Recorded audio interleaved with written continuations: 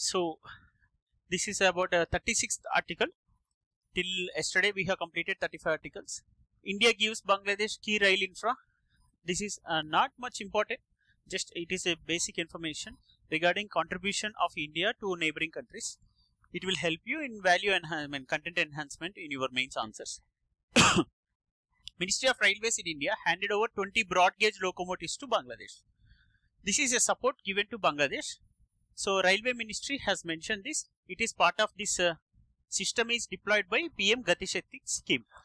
Did uh, did you know that uh, previous year questions related to PM Gati Shakti Yojana two years ago in 2020? Okay, there was mains question came in the UPSC regarding PM Gati Shakti Yojana. Please look into that uh, scheme once again.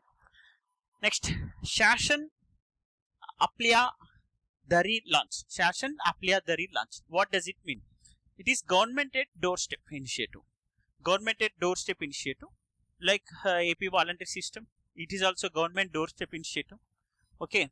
Anyways, uh, Chief Minister Eknath Shinde launched this scheme Shashan Aplia Dari. That means government at doorstep initiative aimed at providing benefits of government schemes at one place. What do they do? They'll conduct a workshop in which various departments will come and collaborate to deliver services and address the grievances of the particular mandal. Suppose uh, this workshop is conducted in a town of a district. So all the departments will exist there. Anybody can come and approach those people who, who, who can attend that workshop and they can submit their grievances immediately if possible they will resolve those grievances. This is called government at doorstep. It doesn't mean they will not go to door, door to door. Okay, they will solve the problem at one particular place. This is a one-stop solution. So likewise, they will conduct workshops frequently from one place to another place. They will do this is a mobile van type of workshop in which every department is existing and they are reaching the remotest parts of this country. Like district administration have been asked to organize two-day camps as part of this initiative. What is this? District collectors organize two-day camps for citizens under this program by using funds from various departments. It is not one particular department fund. So district collectors, they will collect the uh, fund from agriculture, rural development, social justice and tribal development, skill development, school education among others. And what are the benefits? Like it will save time because citizens are not required to uh, uh, do long distance journey to redress their grievances.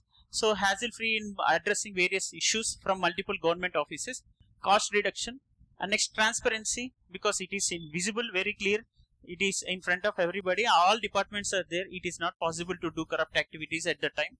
So empowerment active involvement of the decision making process and access to information this is part of empowerment because when you integrate few people and when you bring inclusivity it is nothing but empowerment.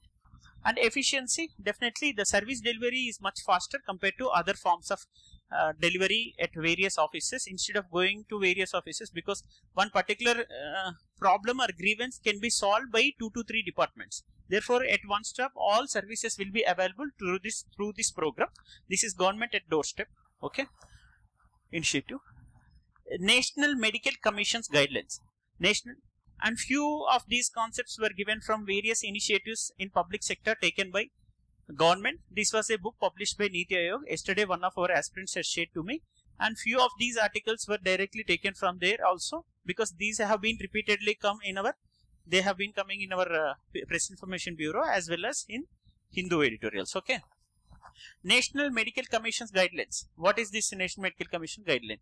A guideline to assess whether a candidate with disability may enroll in a medical course, whether candidate should receive the benefit of the quota. So this is regarding the quota to the disability people in the medical courses, whether they are eligible to be or not. So these recommendations were given by a 16 member expert committee. What are the highlights in it? So despite the mandate, much of the recommendations don't talk of advancement in assistive devices or treatments. So what are these highlights? Because the ma mandate is given, the quota is given, but irrespective of that, recommendations are not talking about advancement in providing them assistance for the disability people. And existing guidelines saying that anyone with more than 40% disability are eligible. They will be eligible for medical course and quota. If the disability can be brought below 40% with AIDS. Okay, aid, AID, I mean any assistance and tools. And inclusive recommendations. What are these inclusive recommendations? Suppose two members from psychiatry department reasoned that there was no threat to patient safety in allowing those with more than the benchmark disability due to mental illness, learning disabilities or autism spectral diseases, anything related to it. So this is about uh, providing guidelines with respect to people who are suffering from disability entering into the courses related to medical education. This is a Medical Council of India has given such a rulings. So who can give such a ruling? It is not ICMR. Suppose if I ask you one question, one statement related to ICMR will lead into certain issues we, like research and development and publishing of the general and giving approval for the trials for clinical, clinical trials regarding vaccine development. These are fine. But with respect to medical education sector, who will regulate and who will give certain guidelines to the government of India? This is Medical Council of India. Medical Council of India. So those regulations were not required in depth. Just that is an application oriented learning. Now you can understand what is the role of the Medical Council of India. One application which you have read is helpful for you to understand its role. For example, Medical Council of India was established in 1934 under the Indian Medical Council Act 1933. Therefore, what is the difference between ICMR and Medical Council of India? ICMR is an apex body but it's not statutory body. It is a statutory body clearly passed under an Act Medical Council Act, Indian Medical Council Act 1933. And with the aim of functioning of establishment uh, regarding standards in higher education sector in the medicine and recognition of medical qualification in India and abroad. So who who has to certify MBBS graduate? This is under the guidelines given by Medical Council of India. Okay. So the old act, suppose if I give you an option initially that uh, ICMR will certify an individual's graduation which is uh, whether it is a medical graduate or not. It is not possible with respect to ICMR. Okay, it is a research oriented one but it is with respect to education regulator or administrator. A guideline provi providing certain guidelines prospects like that. So the old act was repealed in 1956 new act was enacted in its place. The new act was further modified in 64 33 and 2001 like that. So this is medical council act in 1933 providing a statutory body named to be medical council of india its main role is to provide standards for higher education sector especially in the field of medicine and recognition of those graduates who are qualified in the medical sector, whether they are qualified from abroad or India. Suppose uh, somebody studied their MBBS in Afghanistan. Will Medical Council of India recognize it? They have to keenly, thoroughly check into it, right? This is possible. Therefore, Medical Council of India will thoroughly check, look into those issues also. Next, Unnat Bharat Abhiyan. Unnat Bharat Abhiyan. So, in a commendable initiative, what is this Unnat Bharat Abhiyan with respect to higher education sector? Again, you will be seeing that. So, in a commendable initiative, approximately 15,000 students from 10 districts in Andhra Pradesh have joined hands to bring about significant development in various villages, remotest parts of the villages. This Unnat Bharat Abhiyan. They have participated this Unnat Bharat Abhiyan. What is this project? It is aiming to bridge the urban-rural divide. Urban-rural divide and uplift rural communities by providing them with essential amenities and infrastructure. Like they can talk like Meghna, okay, by getting trained under this Unnat Bharat Abhiyan. So this is very easy to remember for, from you, okay. So under the Unnat Bharat Abhiyan, students from various education institutions are actively involved in identifying needs and challenges. They will bridge the gap between rural urban, right? This is a rural urban divide will be uh, that lacuna will be filled through this Unnat Bharat Abhiyan in which most of the students will participate and get trained under this scheme. Simple. So the students have taken up the diverse ranging uh, like access to clean drinking water, construction sanitation facilities and improving their healthcare services, digital literacy, okay, enhancing agriculture practice. These all are also part of this Unnat Bharat Abhiyan. It has also taken support from state and central government. It is a combined force, combined effort from the state and central government which are providing certain financial and technical expertise and resources. Next, what about Unnat Bharat Abhiyan? It is a flagship program of Ministry of Education. As you know that it is very easy to identify under which ministry this program is introduced. Unnat Bharat Abhiyan, it is with respect to the higher education sector and skill development area in which uh, various streams of education is involved. Uh, the stream may be from even uh, digital literacy and also communication skills, sanitation, construction, all these areas and providing certain amenities as well like clean drinking water, toilets and construction Unnat Bharat Abhiyan under Ministry of Education. It was launched in 2014. The aim is to link higher education institutions with a set of at least five villages so that what is this higher education institution? Suppose an IIT is there in Hyderabad. It has it, it has been given certain tasks to uplift those rural communities with skills and certain facilities. Therefore, this IIT will take up those five particular institutes. Okay, for particular five villages. Likewise. So, any uh, big institute in collaboration with this Unnat Bharat Abhiyan in Ministry under Ministry of Education will be dealing with the five villages to uplift the rural community, especially the students, to get trained under their various skill development programs. So these institutions can contribute to economical as well as social betterment of those village communities using their knowledge base. These higher education institutions will contribute for the upliftment of those younger generations who are coming from these remotest villages. So major domains here are two major domains are there. One, one is for holistic development of villages that is human development, holistic development and the second one is economic development in an integrated way.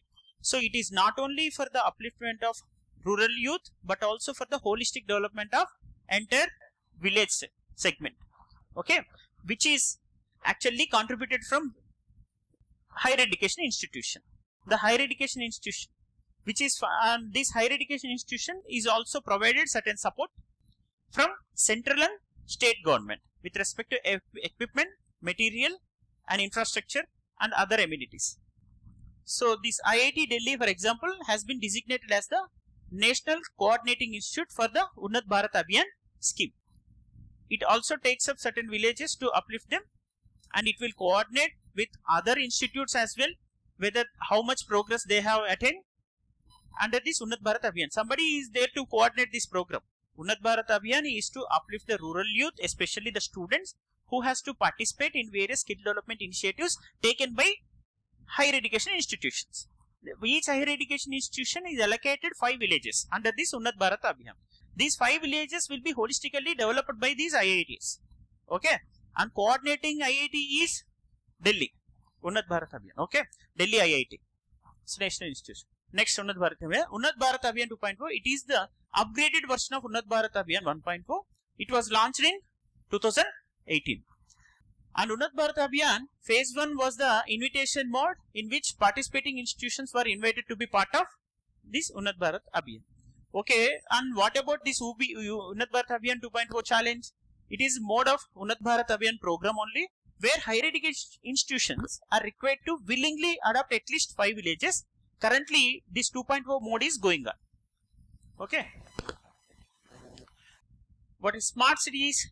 Real incubators of the new urban India. And this is about uh, Ministry of Housing and Urban Affairs and Petroleum Natural Gas they both have announced these members of consultative committee of the Ministry of Housing and Urban Affairs about this progress of Smart Cities mission. The Smart Cities mission was announced in 2015, 2014 only and Vizag was announced as Smart City. So how smart it is now you can see how Vizag. Okay, the implementation of the mission at city level is done by a special purpose vehicle. What is the special purpose vehicle?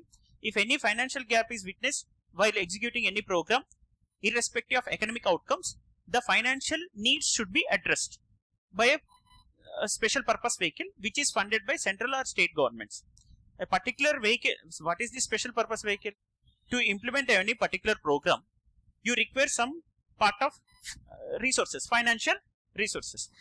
But to after implementation of this program, you may not get economic outcomes as much as you have invested. You have invested 100 rupees, but the returns may not be a, more than 80 percent. So what will you do? So that 20% lacuna will be filled through special purpose vehicle. Okay. That, that is why we call it as special purpose vehicle to execute a particular program to fill the gaps to implement those programs. Okay. Okay. So is a smart city mission. The implementation of the mission at city level is done by why I am explaining special purpose vehicle. Even UPSC is very mad to ask those basics. Okay. UPSC has asked various basic questions like UPI, quick response code, Bureau of Indian Standards, even Bhim app, Bhim app, how, how many authentications are there, how many steps and levels of authentication is there with respect to Bhim app, then you need to download it immediately. And it has also asked about LED light that we have imported now. Okay, it light emitting diode question. Several times UPSC has asked various questions and electronic appliances, the guidelines, instructions given there. okay, for electronic appliances, refrigerators, okay, and the TVs and near field communication. When an employee is walking with a near uh, barcode, it will uh, with with uh, one meter distance that near field communication will navigate and communicate whether he is an employee or not. It will immediately recognize without having any wiring connectivity. Okay, this near field communication was also asked in UPSC and RFID tags. On highways also you will be seeing this FASTag which is imported on your vehicles. This uh, radio frequency identification technology all these application oriented daily life questions were asked by UPSC for last 6 to 7 years. You can witness them right? Therefore those basic questions will be asked by UPSC please keep them in mind. So implementation of the mission you need to see the PYQs and next few current issues which have been repeatedly asked for last one year. And next basics like NCERT books. What are the inspiring elements for the examiner while framing a question first the basic textbooks and the second one PYQs and third one is third one is current static based questions based on current affairs only again. Suppose Vedantic mines and Niyamgiri hills dispute happen in Odisha. Therefore they have asked three times regarding the question related to scheduled areas. Okay if any land is coming under schedule and forest dwellers act which is under dispute for several years and recently 19 lakh people were given their lands back therefore scheduled areas question was asked in 2019 the same question was repeated in 2022 and 2023 as well who will designate them as scheduled tribe and who will uh, uh, what is the consequence of integrating or uh, designating a community under scheduled tribe and if you make a land to be part of scheduled uh, scheduled areas what is the consequence of it? These are the questions they have asked for last three years. You please go through them. 2023, 22 and 2019 as well. So next, implementation of the mission at city level is done by a special purpose vehicle playing an instrumental role in monitoring the projects to utilize the full potential of this path breaking the mission. Okay. So I have explained you about special purpose vehicle to implement the smart cities mission. What is the actual role given to the special purpose vehicle? Any gaps are there, it will fulfill those gaps actually while implementing this. Next key highlights of the scheme. Smart Cities mission launched on 25th June uh, in 2015. It is aiming at providing core infrastructure, clean, sustainable environment and decent quality of life to the citizens. And it will also provide ease of governance, uh, smart city solutions, smart solutions, especially by bringing digital solutions. So 100 cities are selected a two-stage competition to be developed as smart cities, which are showing a satisfactory progress they are claiming that these smart cities are functioning very well that we need to also agree agree to the government because you you don't question them next the concept of smart cities has gained significant momentum in india with the government's ambitious plan to develop 100 smart cities across the country government has announced 100 smart cities in two stage uh, improvement program by providing these uh, services like cleanliness sustainable environment and also quality life to the citizens with digital solutions Okay, this is the major theme of the smart cities. And Puducherry's first fast track court. I will again conduct a rapid marathon after end of this session. Okay, so all 35 40 articles will be discussed at the end immediately. Next, Puducherry's first fast track court. What is this first fast track court? This Puducherry integrated court in Puducherry to facilitate expeditious trials and disposal of cases under this POCSO Act. Okay, that is protection of children from sexual offences. This acting Chief Justice of Madras High Court has inaugurated this special fast track court to deal with the cases related to POCSO. Under POCSO itself, they have mentioned to immediately disseminate the uh, cognizable offences related to POCSO. They have established these fast track courts. The first fast track court was initiated in the Puducherry itself under this POCSO Act. Recently, this POCSO Act was amended last year. Okay, this has uh, these amendments came into picture. Uh, they have mentioned certain uh, uh, um, stringent criminal provisions in it okay? And fast uh, to immediate to disseminate the service and judicially judicial service with respect to these POCSO acts they need to establish special courts. Fast track courts means what? Exclusively they deal with POCSO cases only. Okay? These are fast track courts to immediately disseminate those services. So fast track special court concept is it is in 2019, just I have told you in two years ago, they have passed a recent judgment amended and accordingly they have established fast track courts. The government approved a scheme for setting up around 1000 plus fast track courts under this POCSO Act. Okay. So immediate disposal of pending rape cases under this Indian Penal Code and also crimes under POCSO Act. And Supreme Court also directed setting up of a centrally funded special court in each district where more than 100 FIRs are filed. Okay, this is also one of the initiative policy interventions taken by the government in the field of governance, right? So fast track courts are dedicated courts. I already I have explained you. These are dedicated exclusively for the purpose of POCSO delivery, right? Next about POCSO, that this is to protect children from offences from sexual assault, sexual harassment and pornography and provide for establishment of special courts for trials such of, such offences for matters connected therewith or incidental thereto. Who is the nodal ministry for it? Ministry of Women and Child Development for POCSO. Okay. The nodal ministry for POCSO Act is Ministry of Women and Child Development. Next, Tamil Nadu extends ban on tobacco and nicotine products. Tamil Nadu. So, Tamil Nadu is extending ban on manufacturing, storage, transport, distribution, sale of. Yesterday uh, you had heard about it. Shall I ask you that question? Yeah. E-cigarette. Okay. E-cigarette. Okay. Definition. Yeah. Even aer any any substance which is heated and producing aerosols is banned, whether it contains hookah, whether it contains nicotine or not. Okay. It is. It may have whatever size it may be the size may be in cigarette form or whatever. Okay. Electronic cigarette or non-electronic as well. Okay. If it releases aerosols after burning a substance. Okay. And with, without even producing heat or not, not producing also. If aerosol is released without even nicotine having or not, if aerosol is released, that substance has to be banned according to the e-cigarette ban. So accordingly, the same same e-cigarette also. What is the definition of e-cigarette and what are the preventive mechanisms that they have introduced in it? Here, storage is prevented, transportation, distribution, sale, and next chewable food products also. Even tobacco, which is chewable, okay, and part of this food product containing tobacco and nicotine, which will be in effect for one year starting from May 23. This was a Tamil Nadu court judgment. This is a value addition and substantiation.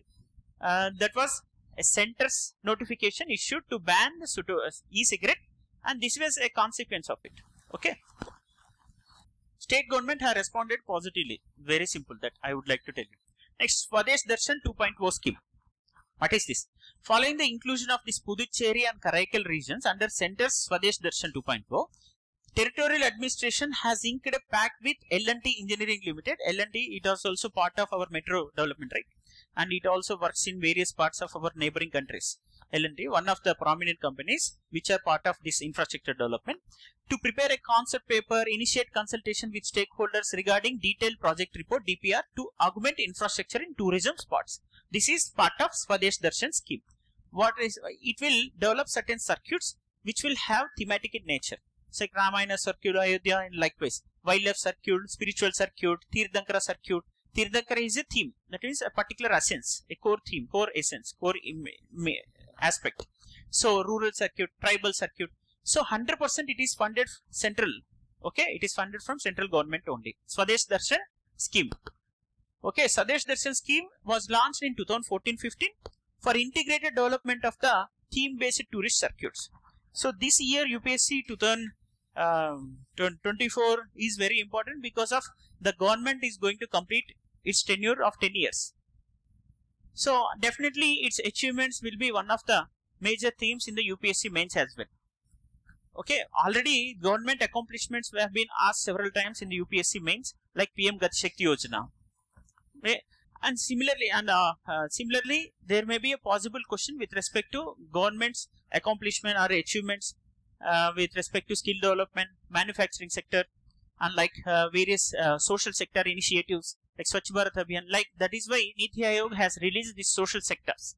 The book released by Niti Aayog with respect to contribution made by the government for last 10 years in the empowerment of society. So Ministry of Social Justice Empowerment.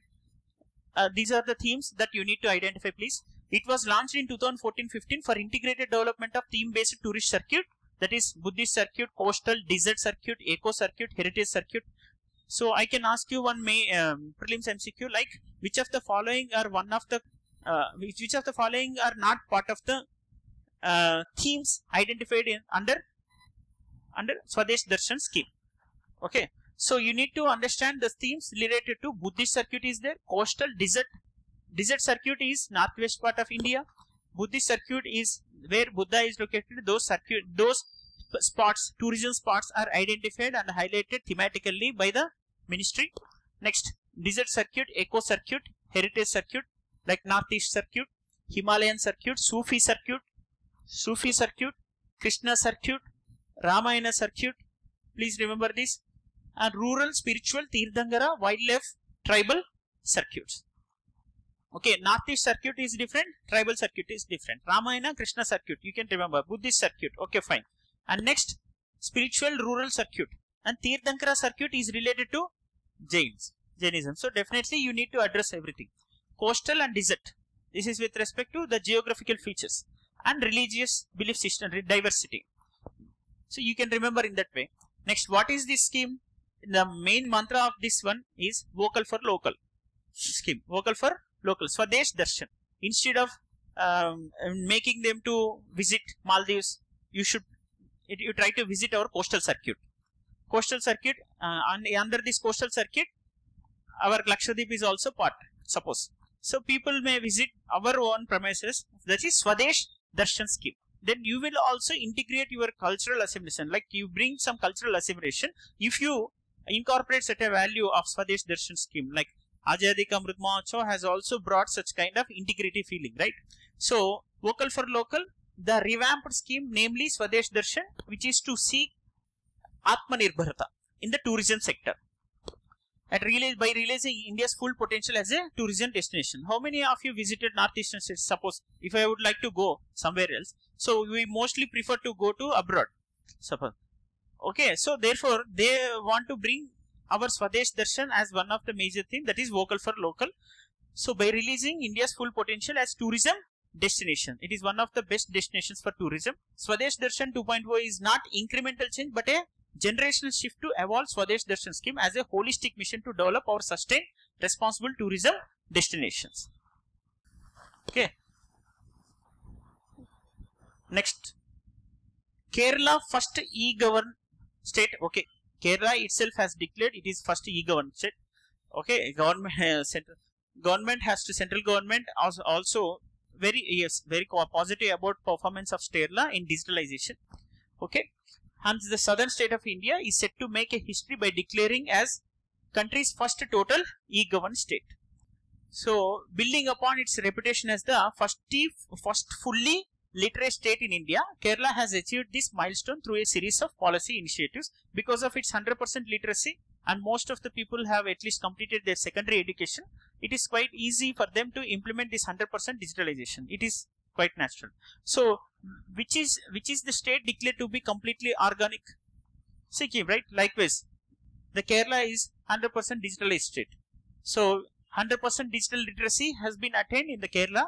This is a knowledge-based economy. The government has digitized the delivery of vital services, uh, ensuring transparency, inclusivity, and accessibility for all citizens. This was declared by Kerala. So digital empowerment was achieved. Okay, fine. Next, Samarth campaign to promote digital transactions at Gram Panchayat level. Samarth campaign to promote digital transactions at Gram Panchayat level. This Union Ministry of Rural Development has introduced this scheme that is the campaign named to be Samarth for promoting digital transaction in about 50,000 Gram Panchayats. In about 50,000 Gram Panchayats under this Amrut Mahotsav in Lucknow. Okay. So key points are the ministry, which is a rural development ministry of India is running this Samarth campaign under promoting digital transaction in 50,000 gram panchayats. Therefore, what is actually, why should we read this one? Because it is very simple. The statements will be given simple, but we commit fundamental mistakes with respect to facts. Like if I give you that uh, to empower rural community in digital transaction, which is coming under the Ministry of MeitY, like Ministry of Electronics and Information Technology. Therefore, we commit mistake. So, but it is for the purpose of whom? Rural development. So, digitalization in rural sector, especially 50 panchayats were selected by Ministry of Rural Development. The Samarth campaign was launched by Ministry of Rural Development for digital empowerment of rural India. Okay. Next, under Azadi Ka Amrit Mahotsav. So whatever you see, whatever you learn, everything should be seen through the lens of the UPSC MCQ. Therefore, it is easy for you to remember. Instead of uh, completely reading the document, just see where the MCQs were framed, where maybe where MCQs may be framed, and the chances of framing MCQs maybe with respect to the fact and ministries and their schemes, under which ministry the scheme comes, and the provisions of the scheme, and basic statistics and data trends. And they will not mention exact statistics and figures most of the times. If they mention that will be mostly wrong in the sense that several times UPSC has committed such a uh, I mean uh, wrong uh, sentences also. So next self-help groups. NPA is coming down from 9.58% in 2013 percent to below 2% self-help groups. NPA is coming from 9.58% in 2013 to below 2% that is important the key thrust of this summer campaign is to promote promote digital transaction which is a testimony here it has improved okay next uh, this Sakhi's in Uttar Pradesh alone did 5 crore 57 lakh transactions. Sakhi one stop solution portal okay for women. Okay. Next Pan India milk and milk product surveillance. Pan India milk and milk product surveillance. Food Safety and Standards Authority of India comes under which ministry? Okay. Okay, Food Safety and Standards Authority of India. Is it statutory body or regulatory body? Okay, somewhat better. Somebody somebody is saying statutory, that is fine. Okay. Food Safety and Standards Authority of India saying that pan-Indian surveillance will be done on a large scale by collecting samples of uh, this uh, milk from both organized and unorganized sector. Okay. The packed milk and unpacked uh, loose milk. Okay? They will collect samples. They will check whether they are coming under the standards provided by the food safety and standards authority. This is a statutory body. Actually the country's food regulator said that it will conduct nationwide surveillance of milk and milk products and the efforts are ongoing and it will curb adulteration of any milk products. It will not tolerate any adulteration of milk product this pan india surveillance system is a large scale collecting samples of both from both sides organized and unorganized sector and what is the purpose of this initiate? The purpose is to simply bringing some rationality behind choosing which milk is better for the health and whether they are following the standards. Any adulteration is taken place. Okay. And with respect to dairy products and milk contains in vital micronutrients or not. The balanced diet, uh, the milk is also part of providing balanced diet. Therefore, it should contain vitamins, minerals, micronutrients as well, uh, macro along with macro and people of every age group include milk or milk products in their daily diet. So, this is administered by Health and Family Welfare. Have you shocked? Okay, fine. So, FSSAI is administered by whom? Ministry of Health and Family Welfare. So, what was the assumption that you that came into your mind when I have asked it comes under which ministry? Which ministry? Milk Adulteration Food Safety Standards Authority of India. You assume it to be which ministry? please. So something else you assumed wrong. Ultimately, this is Ministry of Health and Family Welfare. The body is functional as part of Food Safety and Standards Act 2006. So this is a statutory body. So any body which is mentioned under, under an act, it is considered to be statutory body. If it is mentioned in the article of a constitution, it is coming under constitutional body. Simple. Next, about FSSAI, it is an autonomous statutory body, maintains food safety and standards in India. Okay, it is administered by Ministry of Health and Family Welfare. Kindly remember this. Next, Gandhi deferred the accreditation of National Human Rights Commission. Gandhi, sorry, I'm saying Gandhi. Gandhi, not Gandhi, Gandhi. Okay, Global Alliance. This is a global alliance. I just whenever we see GAN, we automatically our mind will read Gandhi only. GAN by it. Ganhri. Ganhri deferred that. What, what is this global alliance? This is with respect to national human rights institutions. Okay. Whether they will they will follow uh, whether they are following certain standards and norms prescribed by our Ganhri Global Alliance for National Human Rights Institutions and they have ranked our Human Rights Institute that is National Human Rights Commission. Our Human Rights Institute is NHRC. They have ranked our NHRC is very poor because of certain reasons. What are the reasons behind it? What are the reasons for such deferment? Why they are not considering our National Human Rights Commission standards are not up to their Global Alliance standards. Global Alliance for National Human Rights Institutes, which is actually ranking the standards of various human rights institutions in respective countries in the world. Okay, our country has a human rights institute named to be NHRC. This NHRC is not following standards up to their expectations made by this global alliance for human rights institutes. So what is the problem here? Political interference in appointments of National Human Rights Commission and involving police in probes into human rights violations. So police should never involve or interfere into probe that is done by Human Rights Commission. Okay. Actually, police personnel was the main one to violate the human rights. So they should never interfere into it. Okay. Next, lack of diversity in staff and leadership. Lack of diversity and staff in leadership. And next, insufficient action to protect marginalized groups. So if you criticize any body of the constitution, any body of statutory, you should have some substantiation. How will you justify your criticism? Are you an activist? No. So you should justify with a report given by somebody else. So you should throw on them comfortably. When your anger can be uh, thrown through someone else. So Global Alliance on Human Rights Institute for Human Rights National Human Rights Institute has been uh, reiterating several times that our NHRC is not up to the standards uh, prescribed by them.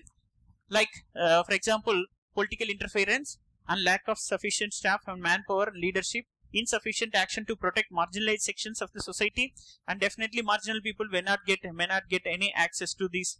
Uh, several times I have seen no problem uh, because poor cooperation with civil society because we have some influence we can call somebody and we can get done to the justice okay?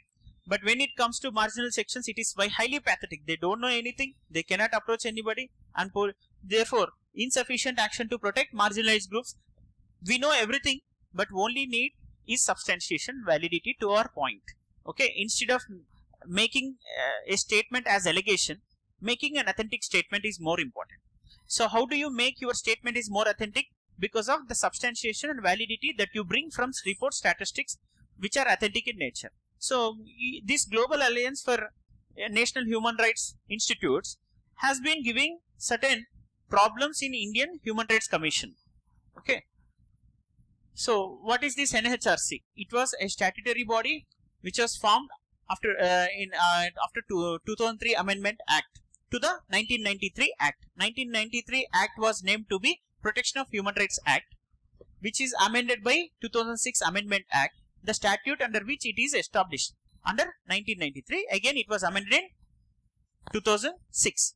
And next, it was set up in conformity with the Paris Principles. Paris Principles that you haven't under, uh, known till now.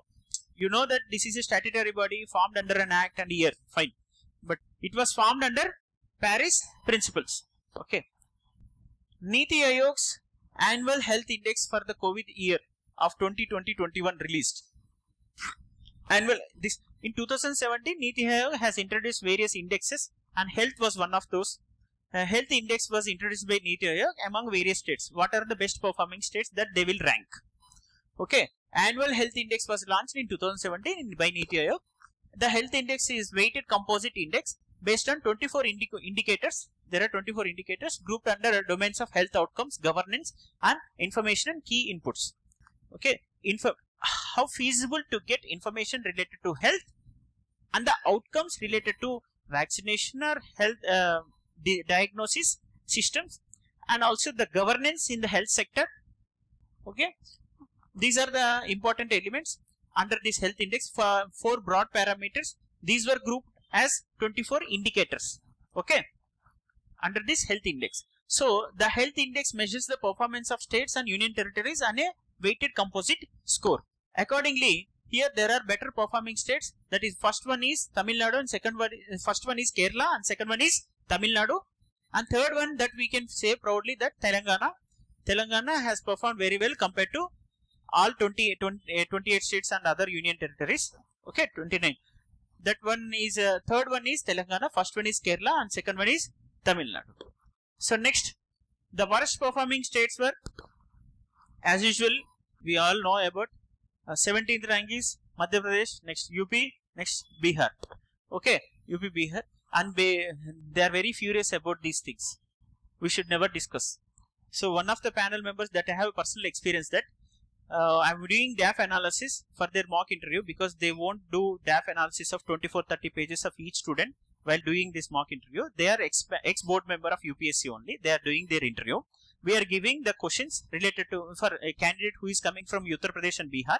We are framing a question related to these points. They were offended because they they are not offended when we frame a question why irrespective of better social outcomes in Kerala still witnessing less per capita income compared to northwestern states of India. They are very comfortable. Okay, Kerala is uh, compared to northwestern states, Haryana and Punjab, Kerala has less per capita income irrespective of better social outcomes like IMR, MMR areas and literacy rate.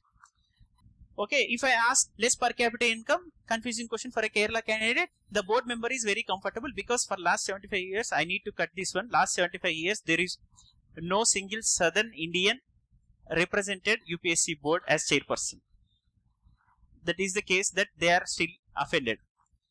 But when I ask a question related to reduced state sex ratio, okay, and pathetic performance of these northwestern states, that is Haryana and Punjab, they will get offended. Okay, if I use the term Bimaru, they will not accept it. So Uttar Pradesh and Bihar, this is Niti Aayog index only. It is also prepared by ah, those people only, right? They are preparing, but they will not consider this one. So this is the issue that uh, most of the southern candidates must enter into the bureaucracy, and that I hope we can make them make it possible very soon. But by making them friends as well. we had to, very soon one of the chairpersons will come here and take session. Okay. Okay. Next, UNICEF. Who? World Health Organization. World Bank Group releases a report on child wasting in India. Okay. United Nations Children Emergency Fund, World Health Organization, and World Bank Group releasing a report on child wasting in India. What is the condition? Already I have discussed yesterday. What is the rate of stunting and wasting? Yesterday to you or not? I don't know, remember. Okay, not with you, with my D3 students. Okay.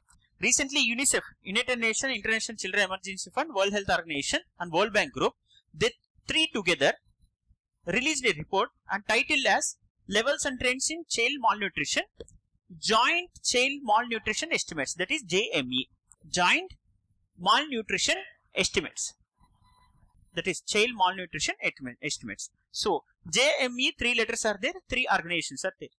What are those three organizations? UNICEF, WHO, next W Bank, World Bank. Next, stating that in 2020, 18.7% of Indian children were affected by wasting caused by pure, poor nutrient intake. Okay. So, uh, this what is this joint malnutrition estimate? JME group was created in 2011 to address the call for harmonized child nutrition estimates. Their estimation is mostly accurate in nature because of three organizations together are working to provide accurate estimates to reduce this wasting in children. Okay. So, findings of this report. What is the finding of this report? This is more important uh, while answering your mains as well. Half of all children with wasting in the world live in India. Next, second point is half of all children with wasting in the world are living in India. So across in across the world 800 people crore. Okay, I haven't counted properly. I don't know, but as per the reports 800 crore. Okay, and 150 crore it seems, but they haven't taken any census till now. So I assume to be 150 crore, and so uh, 150 crore population out of 800 crore. But wasting terms in terms of wasting that is the weight according to their up to 5 years of age. Low weight they said low weight and low height. Low height means stunting. Low weight means the weight um, person. Okay, the body mass index also included here. So when it comes to half of all children with wasting in the world live in India, as per the report given by whom? JME report, Joint Child Malnutrition report. This report uh, estimates report JME given by World Bank, World Health Organization, UNICEF. Okay, and in 2022 an estimated report is and report has estimated that 45 million children under 5 45 million children under 5 under 5 6 were affected by wasting globally and remaining percent half of are india okay of which 13.6 million were suffering from severe wasting. Okay anyways stunting aspect.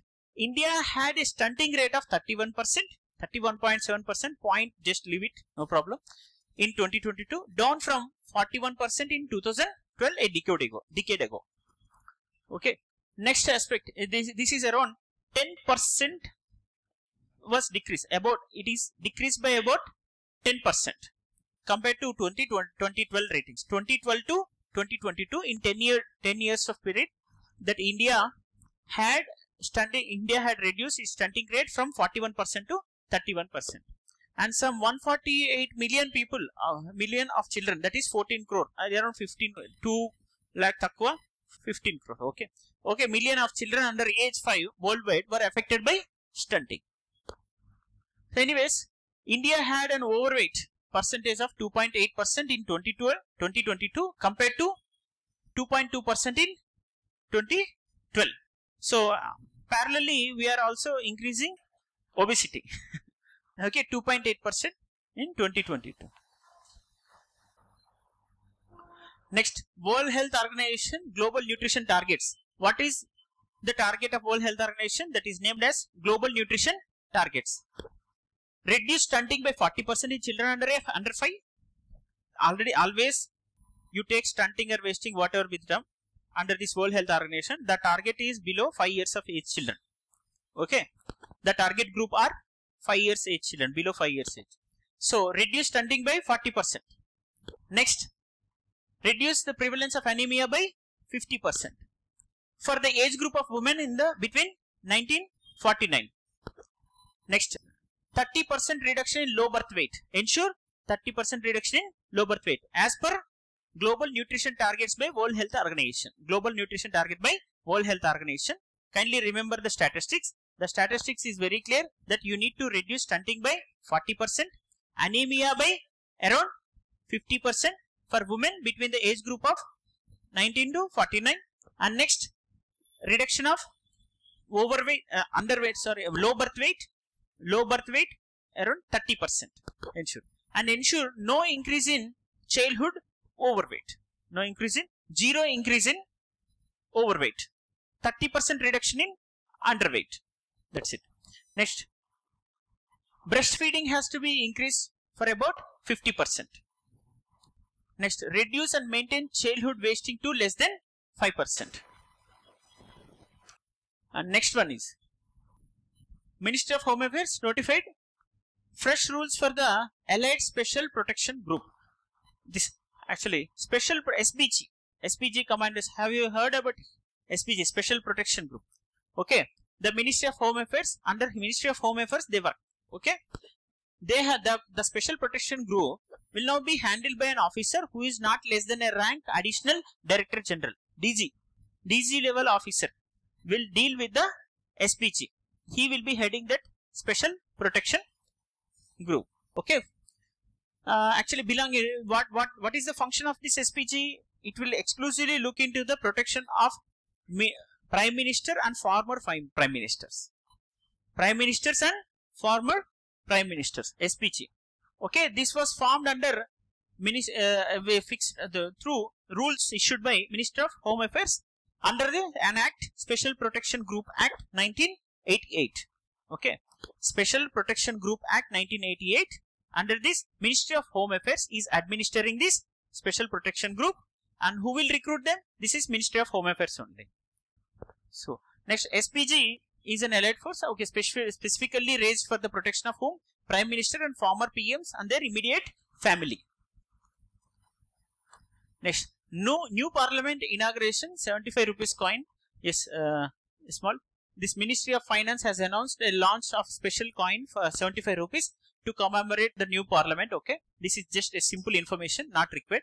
The coin will bear the inscription Bharat in Devanagari script on the left side and India in the English on the right side. This is more than enough, not required enough. Okay. Next, one more thing that newly minted 75 rupees coin will feature the iconic lion capital of the Ashoka pillar on one side and with the word Satyameva Jayate below it. Okay, so this 75 rupee coin is to commemorate new parliament building. It will contain Ashokan ins uh, pillar inscription that is a lion capital Ashokan pillar and the second one is a slogan Satyameva Jayate quotation and next the coin on the other side next one is left and right one left side is Bharat and the right side is India.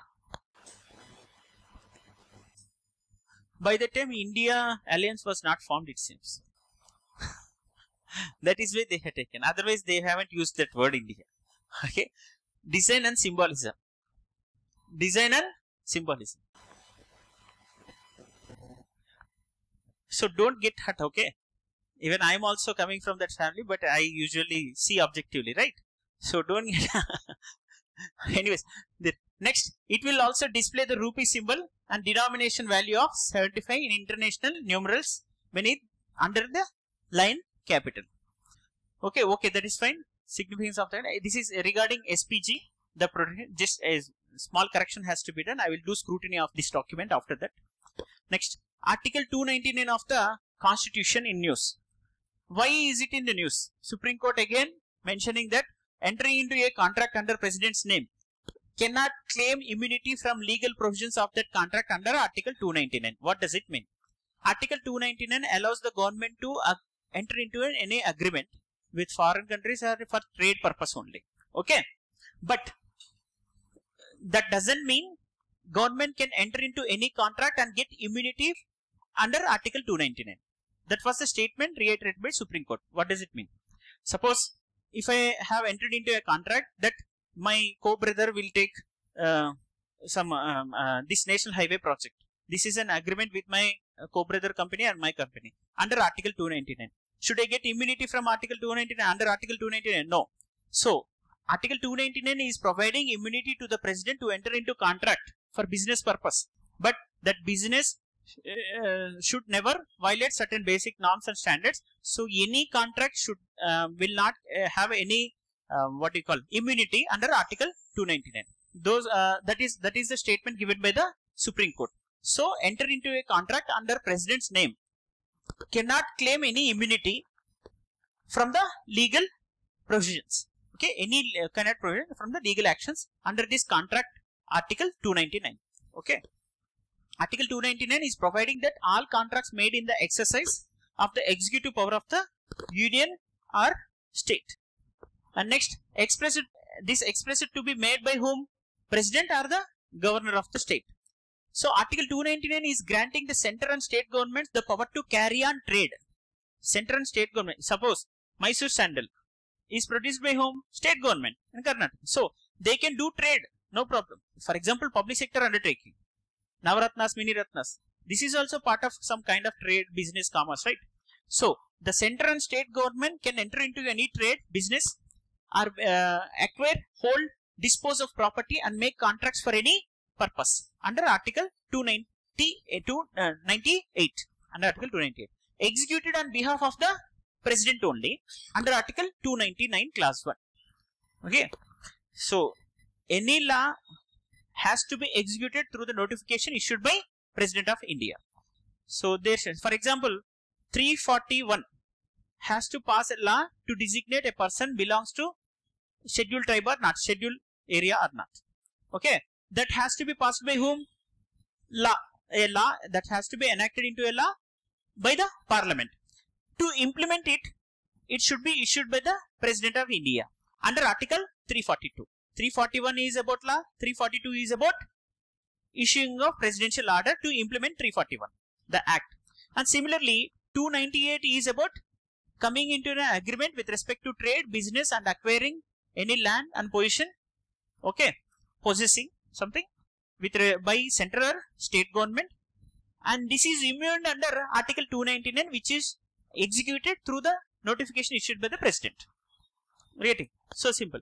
So likewise, this is a consequential effect after a law is passed or uh, any action is taken by the central state government. Next, procedure to be followed for making a contract. What is the procedure actually to enter into a contract? Therefore, I can enter into a contract. This is under Article 298, 299. Just my co-brother, my brother, my sister and everybody will enter into a contract with the government. Is it possible? No. So there should be a procedure. Just now I have discussed. So in 1954, the top court held that there must be a definite procedure according to which contract must be made by agents acting on the government's behalf and otherwise public funds may be depleted by illegitimate contracts.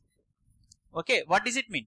There should be definite procedure according to which contract must be made by made by agents. Who are those agents? They must act on behalf of the government of India or government of a particular state or public funds may be depleted by illegitimate contracts. Suppose who is acting on behalf of government here? Ministry, secretary and collector and likewise the people, the hierarchy all will come into picture. They will prepare a draft and they will issue a notification, a tender and tender has to be issued through government order only GO. It should have certain procedure. Okay. And open bidding system has to be allowed and who are giving less bidding then government will get benefit and they will provide that contract to the private party. Okay. This is actual procedure. So on behalf of the government there should be a player who can issue, uh, who can enter into the contract otherwise this is considered to be illegitimate contract. Next, it implies that contracts not adhering to the manner given in Article 299, Clause 1 cannot be enforced by contracting party. So, definitely any contract which is coming into picture from government to the third party, this should be done under Article 299 Clause 1, the instructions and the uh, notification given by the President or Governor somebody. Okay. However, Article 299 Clause 2 is giving that neither the president or governor can be personally held liable for such contracts. Okay. What are the requirements for government or state contracts?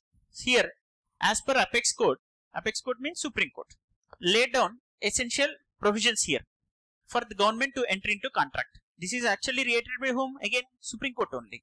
They should never get any immunity under Article 299 when they enter into contract. Okay, Article 299 is providing immunity, but all cases will not give you such an immunity from legal provisions. Okay, under Article 2, Supreme Court has mentioned that the Apex Court has given certain guidelines that three conditions to be met before binding a contract against the government. Three conditions have to be followed before entering into a contract with a private party for trade and business. Three conditions to be met. What are those three conditions? The contract must be expressed. It must be executed in writing the first one and second one execution should be why suppose if somebody is not filing FIR while you are putting a case then you should ask them you should give me a reason and writing. They will not do that. Why? Because so the written letter of any designating authority is considered to be an agreement itself. Okay you no need to say that it is not a bonded uh, it is not a bond or it is not registered agreement or something like that. In on a, even on a white paper, if some designating authority has written something, then it is having a legal validity. Therefore, they will not give you by writing on paper for the actions that they have committed or not committed.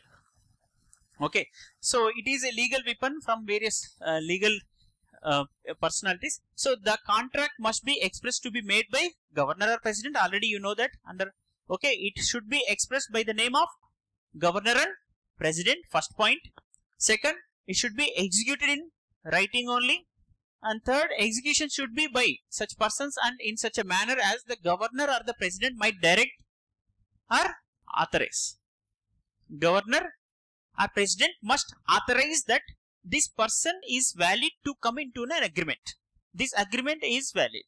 So that that means the government has entered into this contract with uh, complete delegation. Okay.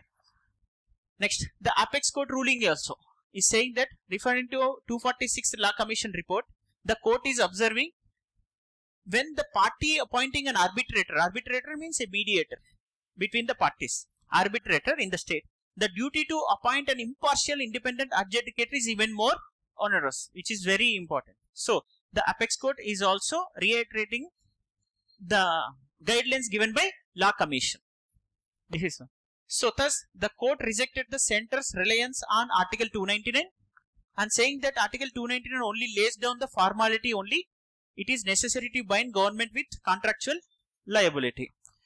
So, therefore, any contract which is being done under Article 299 will also come under liability of the government. That means liability means they should be answerable. Okay, anybody can question also. So, under Article 299, irrespective of official gazette notification came under the sign and seal of president or governor, you can question the government that under what circumstances you have entered into an agreement with the private party. That is what the liability of the government irrespective of entering into an agreement under 299 article class 1, right? 299 article. So, world's largest grain storage plan. World's largest grain storage plan. World's largest. Therefore, it may be a potential GK question as well. Okay. World's largest potential grain storage plan. This is a cabinet approving that empowerment of an interministerial committee for facilitation of world's largest grain storage plan in cooperative sector. Cooperative sector. Union cabinet uh, constitution and empowerment of an interministerial committee for facilitation of this world's largest grain storage plan in cooperative sector by convergence of various schemes under these various ministries. Okay. What are the what, what are those ministries? The Ministry of Agriculture and Farmers Welfare and Ministry of Consumer Affairs, Food and Public Distribution and Ministry of Food Processing Industries. By converging four ministries, this world's largest food grain storage has been facilitated by the cabinet committee. Okay. These four ministries are merged together and coming together to form this world's largest storage grain factory something storage storage house for food products. So implementation. How will it be implemented? This is interministerial committee as you have known. What are those ministries? Ministry of food processing and public distribution and farmers welfare consumer affairs. Okay these four ministries are involved. Ministry of farmers welfare agriculture farmers welfare consumer affairs and next food and public distribution food processing industry these four ministries this is interministerial committee they came together to form which one? World's largest grain storage plan. World's largest grain storage plan. So this is interministerial committee. The, therefore, this implementation has to be done through guidelines only as, as usual. The methodologies of the schemes and respective ministries has to frame those methodologies and they have to mobilize the funds for the development of the infrastructure regarding this world's largest storage grain. Okay, grain storage. And how will they implement? Through cooperatives only. Okay? Through cooperatives for agricultural and other purposes it's selected viable primary agricultural credit societies. Primary this is third third level of cooperatives because district level cooperative societies and state cooperative societies next one last one is primary agricultural credit societies okay PSCs this is three tier structure in a cooperative society structure right so for agricultural allied purposes it selected viable primary agriculture credit societies have to be incorporated for building this largest grain storage. Next, plan would be implemented by utilizing available outlays provided under identified schemes. Okay, what are the schemes for it? The schemes behind it. You, you need to use the resources, right? Utilize the resources under various ministries which are implementing various schemes related to food processing, food and public distribution, agriculture and farmers welfare with the help of cooperatives. Okay. Ministry of Agriculture, Farmers Welfare and Agriculture Infrastructure Fund, Agriculture Infrastructure Fund, Agriculture Marketing Infrastructure Scheme and Mission for Integrated Development of Horticulture, MIDH and Submission on Agriculture Mechanization. Submission on Agriculture Mechanization. All these schemes under Ministry of Agriculture will be converged to bring this large world's largest grain storage plant in cooperative sector. Okay. So in cooperative sector, you have primary agriculture credit societies. These viable, viable means what? They have sufficient resources and funding and manpower.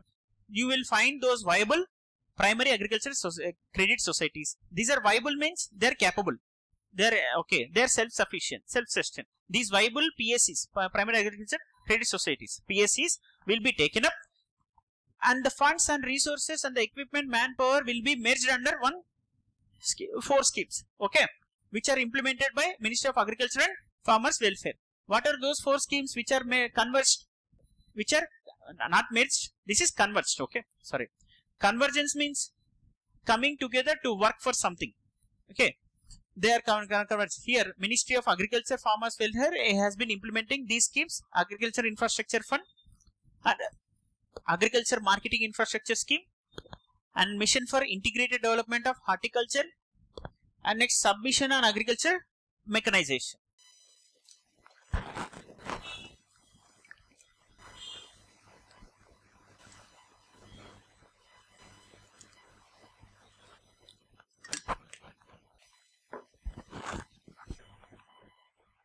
So, then you need to learn about PSCs, Primary Agriculture Credit Societies.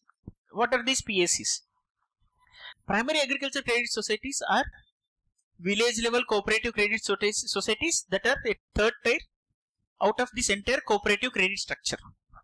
A third tier cooperative credit structure headed by state cooperative banks at the state level. At district level, credit from the state cooperative. This is state level. Okay, credit from state level cooperative bodies.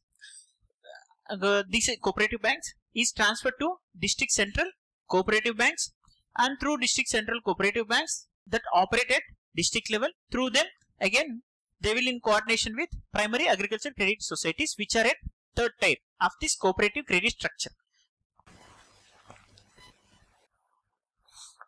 Next cabinet approves cities that is a uh, CITIIS okay IIS 2.4 from 2023 to 2027 CITIIS that is city investments to innovate integrate and sustain city investments to innovate, integrate and sustain.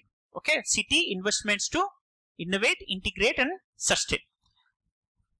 What is this? Union Cabinet recently approved this cities. Cities means not C C I T I E S. C I T I I S. Okay, C I T. That is city investment to innovate, integrate and sustain. Please remember these things. 2.0 cities. So what is this cabinet recently approved? 20 between this program has to be implemented within the time period of 23 to 27. About what is uh, cities? This is also a report given in which Niti Aayog one. Okay, the scheme social sectors. Okay, the CITIIS 2.0 is a program conceived by whom? Ministry of Housing Urban Affairs and next partnership with French Development Agency and European Union National Institute of Urban Affairs. So you have to remember all these. There is no other option. What are those cities? CITIIS 2.0 program has to be implemented between time period of 23 to 27 and it is an integrated effort from Ministry of Housing and Urban Affairs in collaboration with in partnership with French Development Agency European Union and National Institute of Urban Affairs. So duration is 23 to 27, 4 year. The program is about selected project promoting circular economy with focus on what is the circular economy? So there is no particular end point. It is continuously running in nature. Okay. So in a circle, what is the starting point? No, it is continuously running. So in a circular economy, what is integrated waste management at sea level? You see, integrated waste management is not endpoint at level. Okay. The waste collection, process and reuse, recycle will generate employment and also it will generate, um, it will also be part of certain manufacturing. So it is a next climate oriented reform action at the state level. Next institutional strengthening and knowledge dissemination at the national level at state level, what is happening? Climate oriented reform action. At national level, institutional strengthening and knowledge dissemination. Cities aims to leverage scale up to learnings and success of cities 1.0. Now we are introducing 2.0, right? How will you uh, bring financial mobility for this cities program 2.4? Financial mobility is uh, from the AFD that is French Development Agency. French Development Agency. The amount is around 1760 crore. And next, a technical assistance grant of 106 crore from European Union. So European Union and French Development Assistance are providing financial grant to cities 2.0 which is to be implemented between 23 and 27 by Minister of Housing and Urban Affairs. In single line this is the entire scheme. What is single line? The grant assistance by French Development Agency and European Union in collaboration with Ministry of Housing and Urban Affairs implementing the cities program between 23 to 27. Single line statement, okay? It is launched in 2018 by Ministry of Housing and Urban Affairs in collaboration with National Institute of Urban Affairs as well, one of the teams. Next, Tamil Nadu encore opposition to Karnataka's proposal for a dam at Makedatu. This is uh, Makedatu, Mahadai River project. These are always under certain issues only. Okay. Mahadai River, which is Mandovi, name to be. And dispute between Maharashtra, Goa, Karnataka. Okay. I'll. This is also coming in news several times. I'll tell you. Karnataka minister has said that his state was keen on building a dam across Kaveri at Makedatu. Okay, where is this Makedatu star project? This is Karnataka and here Makedatu at the border of this Tamil Nadu region and which is uh, exactly at the edge of where Kaveri is entering into Tamil Nadu. Makedatu is the region here and Kaveri river, this is the actual uh, river course. Okay, Karnataka. Makedatu. So, Karnataka minister has said that his state was keen on building a dam across Makedatu and the Tamil Nadu Minister for Water Resources on the other hand reiterated that Tamil Nadu would oppose the proposal at all levels. They will not entertain this project because next key highlights of this program. Karnataka government has decided to challenge before the National Green Tribunal. Its decision is to appoint a joint committee for implementing this Makedatu project. Okay, Makedatu is a dispute for a dam which is built by the Karnataka government which is proposed to be built by the Karnataka government and disputed by whom? Tamil Nadu government and which has actually approached this NGT National Green Tribunal. So the joint committee is supposed to look into allegations of unauthorized construction activity taking place in Makedatu where Karnataka had proposed to construct a dam across Kaveri. Makedatu meaning goat's leap. Meka, leap, goat's leap is a deep gorge situated at the confluence of rivers Kaveri and its tributary Arkavati. Okay, tributary Arkavati is merging into Kaveri at a region Makedatu which is having a shape of goat leaf. That is why it is called as Makedatu. Next, Makedatu project 9000 crore project aims to store supply water for drinking purposes of Bangalore city. For Bangalore city, for whom? Around 400 megawatts of power is also proposed to be generated through this project approved by Karnataka state government and approval from Ministry of Environment, Forest and Climate Change. Okay, is very crucial because 63% of this forest cover of Kaveri river adjacent area and Kaveri Wildlife Sanctuary will be submerged due to this project. 63% of Kaveri Wildlife Sanctuary is going to be submerged if this project is coming to picture. Therefore, uh, the uh, Ministry of Environment, Forest and Climate Change is objecting that project. And they, and again, who has come to the power? Congress government. Next, therefore, the Congress government has reiterated again Kaveri dispute. Congress government has to show somebody is a villain here. Who is the villain here? The project is not being approved by the central government. So, and again it has to come into the dispute with Tamil Nadu government because they will never form a government in Tamil Nadu. Therefore, they will not, they will sustain their power in Karnataka by, uh, I mean, uh, by bringing certain emotions. River is, river is an emotion there. Next, in 2018, Tamil Nadu approached the Supreme Court against the project even if Karnataka had held that it would not affect the flow of water to Tamil Nadu. So, uh, it is very simple. Even we can resolve that problem if we are given the chance. Okay, we can. It is very simple, but that resolution will not fetch them to gain something politically. So in June 2020, during Kaveri Water Management Authorities meeting, Tamil Nadu reiterated its opposition to project. Okay, simple that everybody is citizen of this country and ultimately respect of citizens. Everybody is a human being who must uh, meet certain basic amenities like drinking water. So drinking water has to be provided to everybody. So no dispute between Tamil Nadu or Karnataka. It is not between states. It is for the cause of human beings. Very simple. So that that should be your statement for your interview, irrespective of your affiliation with Tamil Nadu or Karnataka. Next, India rethinking its anemia policy. India rethinking its anemia policy. Why should it? Why should it rethink uh, while doing such a survey? That is a National Family Health Survey, sixth report.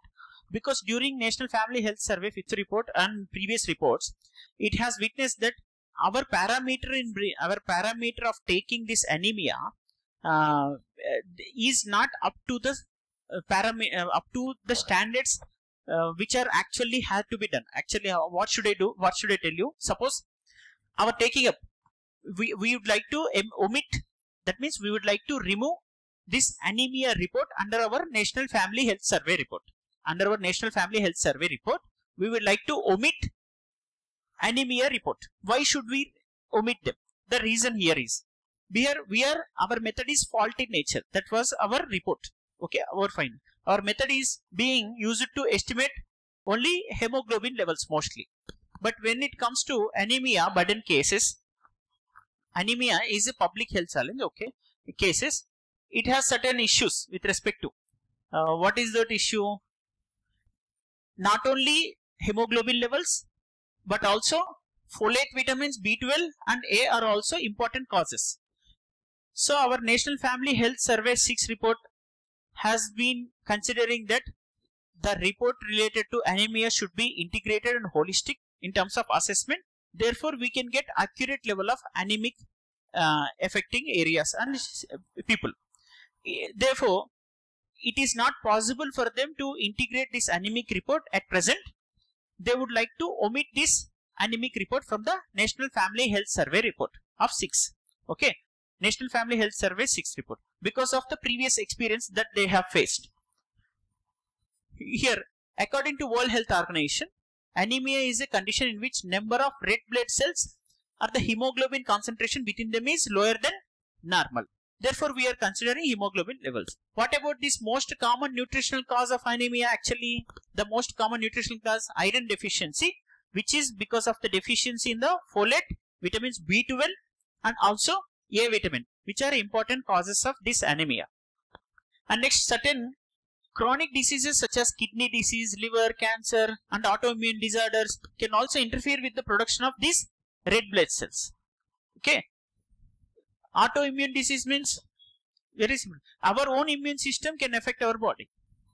Okay, because of this one more challenge. So health ministry has noted that anemia is a public challenge and accurate estimates, accurate estimates are needed to tackle the crisis. Therefore, the, our National Family Health Survey is not providing accurate estimates with respect to anemia at present. Therefore, we would like to omit that report and have under this NFHS 6 until we get accurate report what is actual report uh, what, what is the report that uh, based on which report they are for considering that we need to omit this anemia report now under this uh, uh, as per our previous experience it is telling that anemia burden has grown alarmingly with NFHS as per NFHS 5 2019 to 21 finding that 57% of women in the age group 15 to 49 and 67% children between 6 months and 59 months are anemic that means of all children, almost 60%, 70% of the children are anemic. As per NFHS 5. Is it accurate report? See, it is absolutely absurd. Therefore, it is not uh, accurately finding the estimates. Therefore, NFHS 6 is omitting this one. This one. Okay. And moreover, the corresponding previous times, 2015-16 times when NFHS 4 survey taken place, the anemic rate were rates were 53% and 58.6% respectively for women between 15 to 49 age group for children uh, between 6 months to 59 months. Okay? Which uh, who had this anemic uh, condition. And now this anemic condition increased to 67% this anemic condition from 53 to 57% for women. Which is not accurate in terms of its estimation. Therefore government of india has to come with a new proposal new model of estimation for anemia. Okay. So therefore, if a statement is given that as uh, what are the following reports provided by National Family Health Survey? Okay. If it mentions that as per National Family Health Survey, now Government of India considering anemia is one of the major uh, challenging and burden crisis uh, challenging and acute. Uh, what do you call the statement is used right? Efficacy. Yeah, one of the primary challenges to our country is anemia. That was statement given. Therefore, Government of India has focused, concentrated more in National Family Health Survey. Okay, and they are providing accurate estimates and reports. So likewise, they will twist, the statement. Whatever be the statement that you are reading here, you should see through the lens of the UPSC MCQ. Therefore, it is easy for you to estimate. So under NFHS 6, anemia report is going to be omitted. So it is very important. Next, National Family Health Survey is a large scale. You need to learn about NFHS. Okay. What does it do? It will provide multi-round survey conducted in uh, conducted by taking samples from various households. Next, first National Family Health Survey was conducted in 92-93. Between 92 and 93. First National Health Survey. The main objective of the National Family Health Survey has been to provide reliable and comparable data relating to health and family welfare. Therefore, under which ministry? Under Health and Family Welfare Ministry. Under which ministry? Something that you committed mistake earlier? Ah, FSSA. Food Safety and Standards Authority of India is coming under Ministry of Health and Family Welfare. Is it statutory? Yes. Under 2006, this body has come into picture under Food Safety and Standards Act 2006. So wherever you see, immediately you should recall all those things which you have read. Those have been repeated several times. Okay. National Commission for Women announced that the launch of 100 entrepreneurship awareness programs. 100 entrepreneurship awareness programs. This is one of the solutions to bring uh, some self-sustenance in economy because to make our India uh, top three largest economies and five trillion dollar economy, what should be the possible solutions that demographic dividend and next entrepreneurship, smart cities and stand-up startup India's and various Mudra Yojanas and for cottage uh, industries as well uh, Make in India programs. All these things have to be read several times. These are very important for your mains as well. So National Commission for Women announced that suppose I haven't mentioned National Commission for Women here. Okay.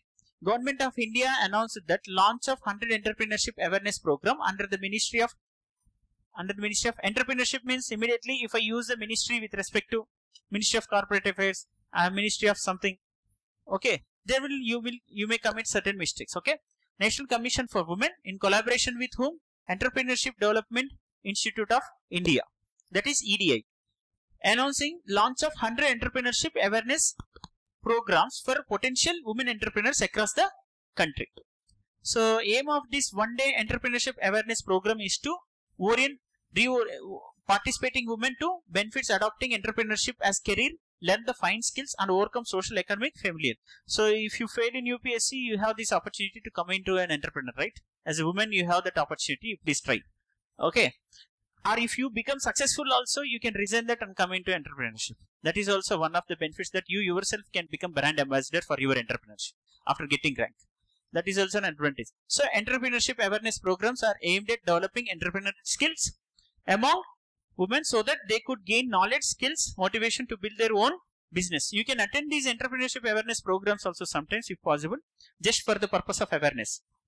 So, the National Commission for Women was set up as a statutory body in 1992 under the National Commission for Women's Act in 1990. Next, train accidents in India. Train accidents in India. Because why have I chosen this one again? Again, Kavach system that you have known about it because Odisha railway uh, train accident that we last year took place not last year six months ago okay? So at least 288 people are feared dead and many injured. A major train accident in Odisha's Balasore district. Uh, what was uh, train there? Yeshwantpur Howrah Express and Shalimar Chennai Express. They both collided uh, coming each opposite to each other and the communication system was disrupted during that time. Therefore Odisha train accident has given uh, has been major uh, prominent themes here. Okay, there may be possible question regarding, especially already covered system has been in news several times, but during this train accident situation, at this time, this system has to be read several times if possible. What is this? Train collision avoidance system that is SHIELD. Train, co train collision avoidance system. Train collision avoidance system. This is also known to be Kavach or armored. Kavach or armored. What does it do? It is electronically equipped system. When it looks into the red signal, then immediately it will alert the braking system automatically. If manually the driver unable to stop that braking system, it will automatically stop the trains. Okay. If any two trains are coming opposite to each other, immediately it will recognize and it will alert the brake system. It will control the speed and itself can immediately stop the train. This is actually the cover system, uh, armor system. Okay. This uh, these uh, system is known to be train collision avoidance system that is shield system. India's own automatic own automatic safety system is under development since 2012. I have said you that it has been in news for several years, but this time it is more important because of the uh, accidents which have been taken place and data is also provided. This Kavach system is very important to reduce these train accidents. Coming to this one that uh, most of the people who are died because of failing from train are people getting hit by trains. Therefore, if Kavach system finds that somebody is coming near to the train while moving, it will immediately alert the braking system and it will stop itself. This is automatic safety system, right? Classification. Derailments and collisions are rare causes of rail accidents in India. Classification of rail deaths based on type of accidents. Okay, type of accidents. Collision, derailment. So, derailments and collisions are very rare in India. But very common, most prominent train accidents are related to failing from the train are people getting hit by trains. Falling from train, sorry, falling from the train, not failing.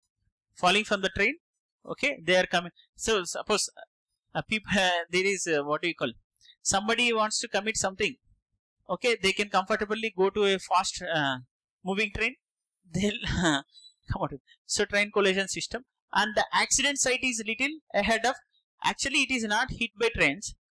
Somebody was sleeping on railway lines.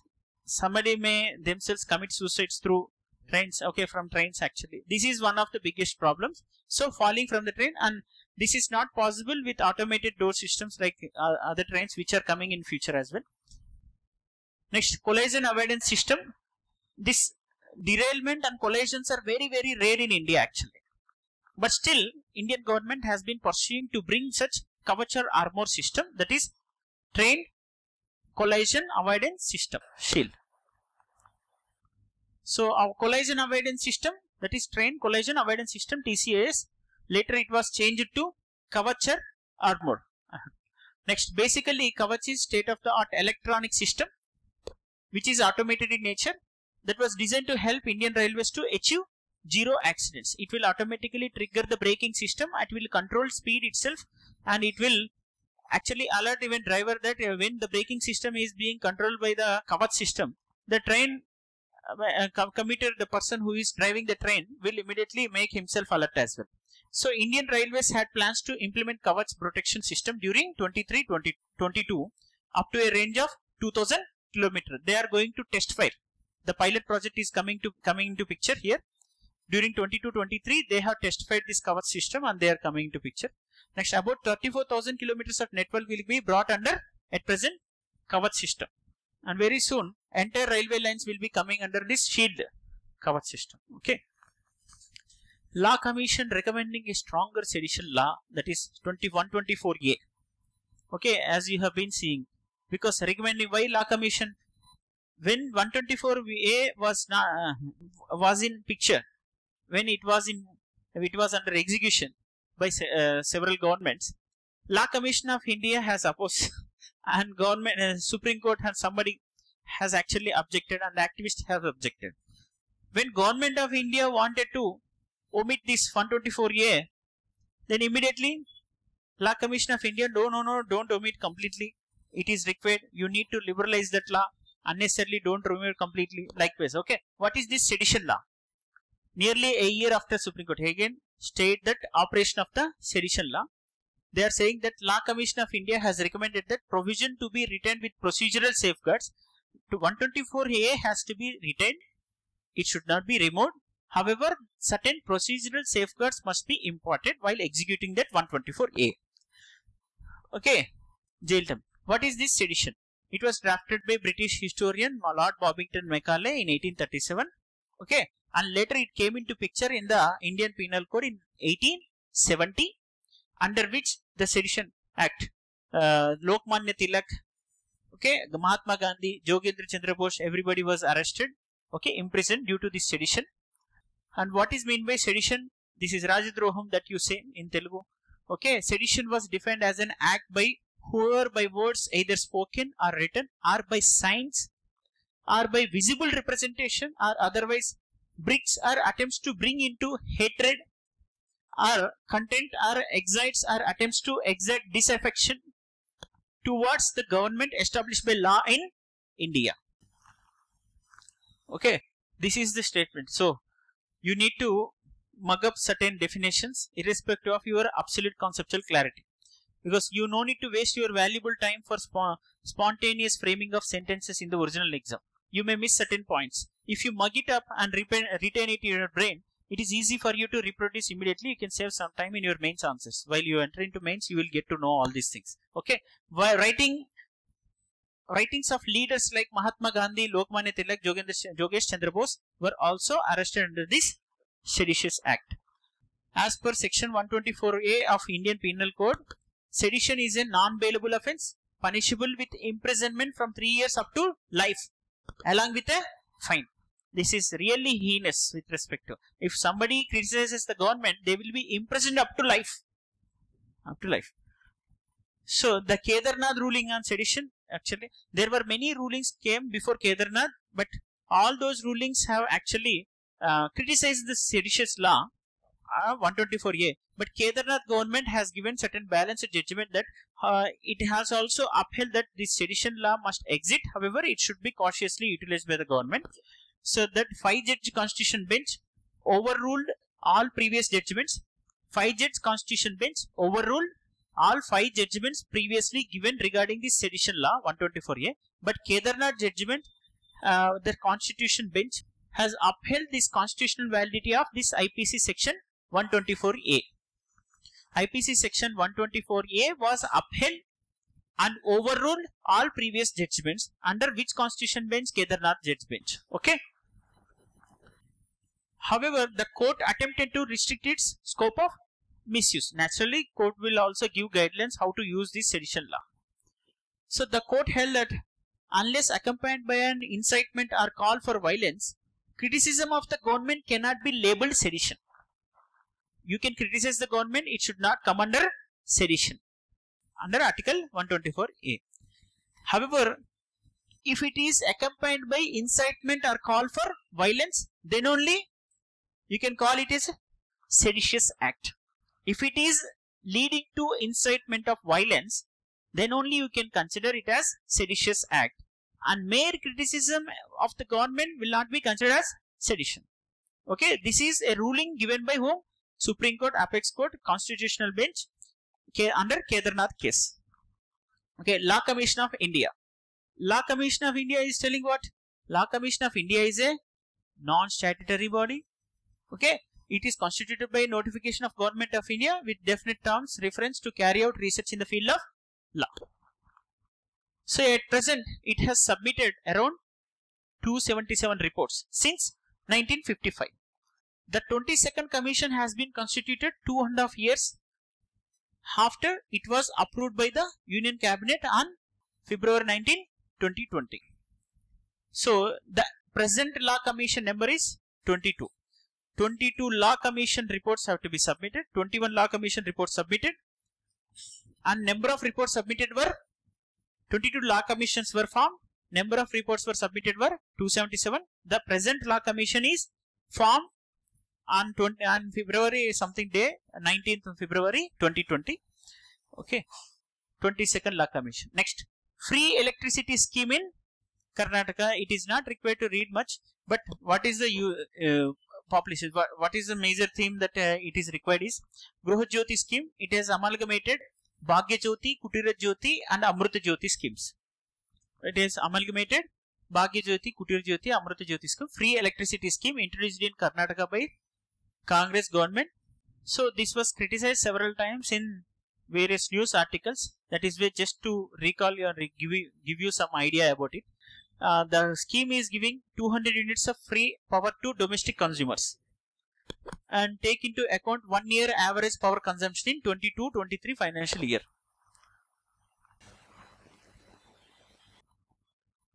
Next, Nyaya Vikas portal created. Nyaya Vikas portal. So log into the what is this Nyavikas portal? It has been created monitoring implementation of centrally sponsored schemes. If you have any problem with respect to this uh, implementation of any scheme and also to implement it effectively and efficiently, you can go to this Nyavikas portal and uh, make them executed as early as possible. For example, if Nyavikas portal is giving you a seamless access to information related to a particular centrally sponsored scheme. Okay, any government official can go to centrally sponsored scheme. They can check deliverables by the central government and what are the requirements that are to be contributed from the state, state government as well. Because all India servants have to collaborate with the central and state government, right? Suppose this Nyaya Vikas center will help them. This is a digital center, digital portal. Are you getting what I am saying? Nyaya Vikas portal, simple. So, we, this portal is empowering all stakeholders. Who are stakeholders? Just now I have said about a bureaucrat who is a India servant and state government employee as well. And even a group 4 officer to IAS officer and other pu public as well who can visit this portal. They can read the guidelines and the fundings uh, which are released, the fund released by the central government for execution of this centrally sponsored scheme. Everything will be given according, uh, seamlessly, with transparently. This is a for information pertaining to what? Funding, documentation, project monitoring, up to which it is executed, that is centrally sponsored scheme, and approval. Central sector scheme, centrally sponsored scheme, that you might you might have known the distinction between these two. 100% it is done by central government, central sector scheme. Central sponsored scheme, there may be certain share from the side of the state government as well. Okay. So objectives to provide information on the status of judicial infrastructure in the country, and next especially court halls residential units of judges this will help them. And what is the fund sharing pattern under the scheme is 60 to 40 percent. 60 is to 40 from central state respectively. Uh, other than northeastern states. Northeastern states are special category states so 90 is 10 is the ratio. So about Nyaya Vikas, what is this? Under this scheme, central assistance is provided to state government, union territories, administration, administrations for construction of court halls and residential units for judicial offices and district judges and subordinate courts. The fund sharing pattern will be 60 to 40 ratio for the states other than northeastern states Himalayan. Okay. Next, commission and railway safety. What is this commission and railway safety? Already this is an issue which has been burning for last six months, right? Last six months means one month it was a burning issue. Several times it came into newspaper. So commission and railway safety. But you will be astonished how many organizations are there in railway. Railway Protection Force, one of the organization, it was also formed under Railway Protection Act. And this is also one more one more commission, commission on railway safety, but it is not under ministry. Uh, it is under air civil aviation ministry.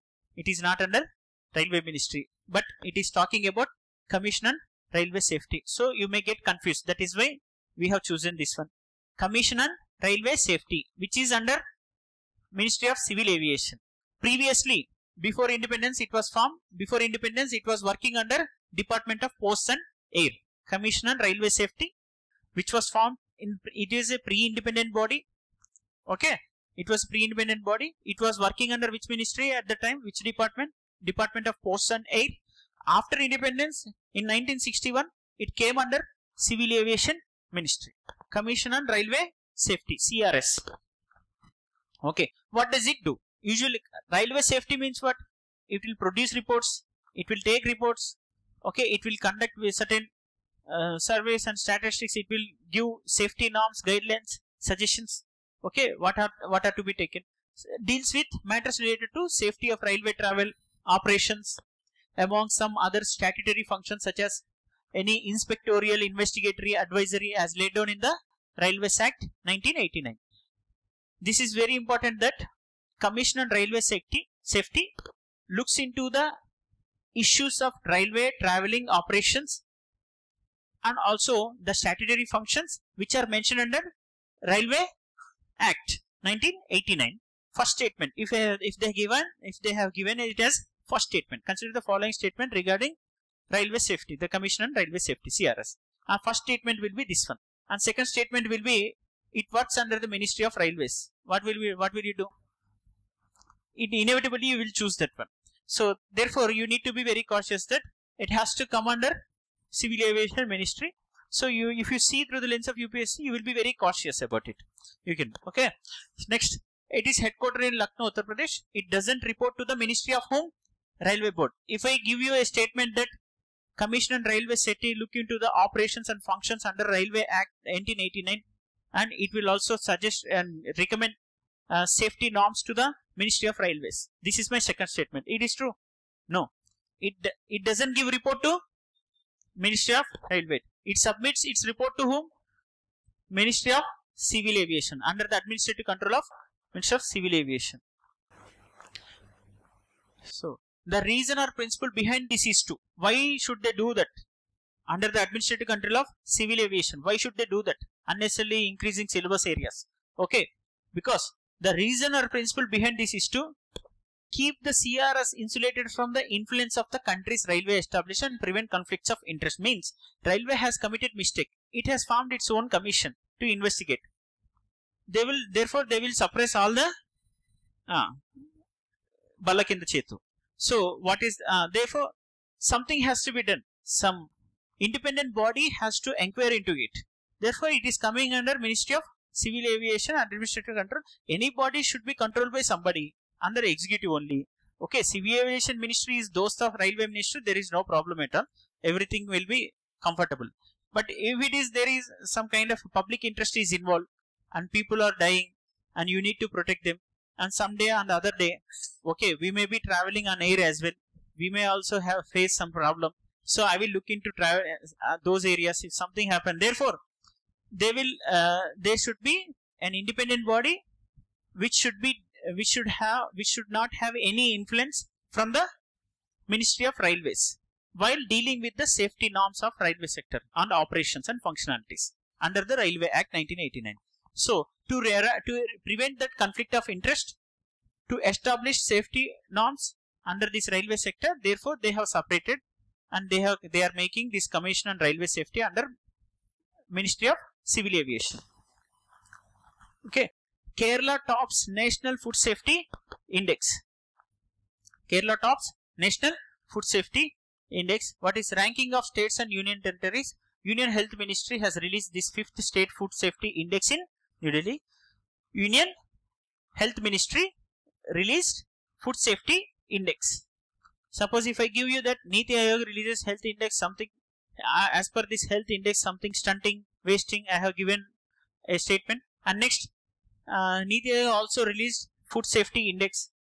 Therefore you will commit a mistake again. So you need to learn reports which are given by and whether these are internal reports by the government and also various international bodies giving reports regarding uh, uh, social justice areas like that. Next, Union Health Minister released fifth state food safety index. Ranking of states and union territories in the 22-23 report. As per this report, Kerala is top ranking state followed by Punjab and Tamil Nadu. Among the small states category, Goa is the top ranking state. By and next, Manipur, Sikkim are followed by Goa. So, okay. Next, um, they are followed. Yes. Next, among the union territories category, Jammu and Kashmir, Chandigarh and Delhi. These are the states. They are the union territories.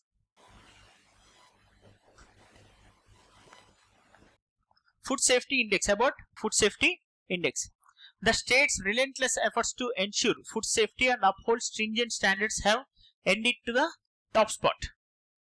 So solidifying its reputation as a leader in its crucial domain. It is not much important, but uh, the more major important is revenue generated by the state's food safety department through the imposition of fines for violations of food safety and standards has witnessed an unprecedented increase. Okay, this is what uh, major.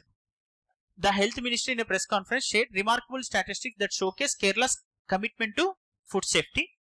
They have taken stringent actions against people who are not following the norms established by Food Safety Index. So these stringent measures help them to focus more on improving their ranks. They're topped in, topping in ranks. Comparing the data from financial year, it is very good in terms of revenue search. About Food Safety Index, it is an annual assessment released by whom? Food Safety Standards Authority of India again came into picture under which ministry? Ministry of Health and Family Ministry. So, so what what are the basic provisions here? This is not important. The provisions performance ecosystem like that. Sahakar se Samruddhi Yojana. Sahakar means cooperation. Under which ministry? Ministry of Cooperation. Okay. Sahakar se Samruddhi Yojana. The government of India has taken five more important decisions for Sahakar se Samruddhi Yojana. Five more important decisions. Samruddhi in a meeting of Union Ministry of Home Cooperation.